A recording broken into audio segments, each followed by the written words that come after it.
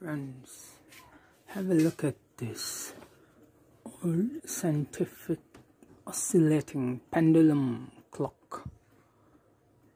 It is very, very old. The working principle is the oscillating. If we open it, you can see scientific clock. Now, here's a key that's available.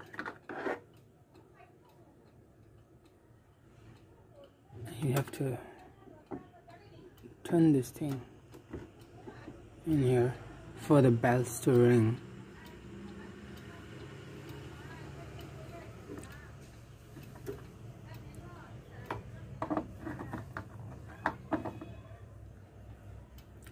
Now let me show you how the bell rings.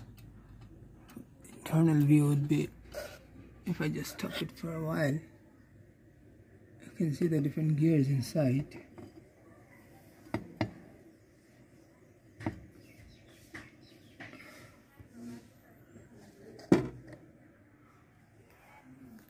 Let me show you by ringing the bell once.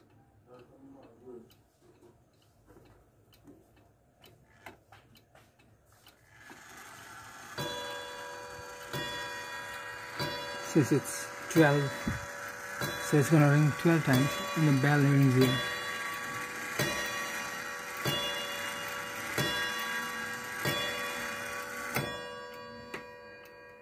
So that's it. Thank you for watching